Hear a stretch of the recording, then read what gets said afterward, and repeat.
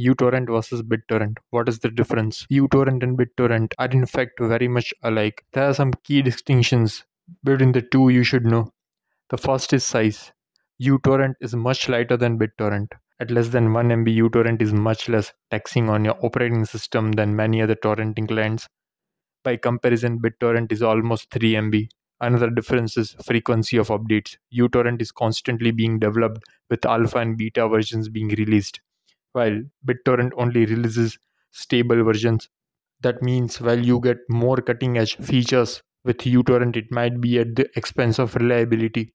Platform compatibility BitTorrent is compatible with Windows, Mac, and Android, but uTorrent is also available on Linux as well.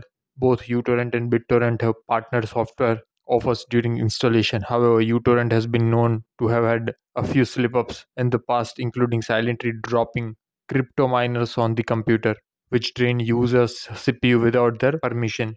This was obviously off putting to many so, to avoid something like that happening to them, many users have gone as far as installing older versions of the client despite the security risks of using outdated software.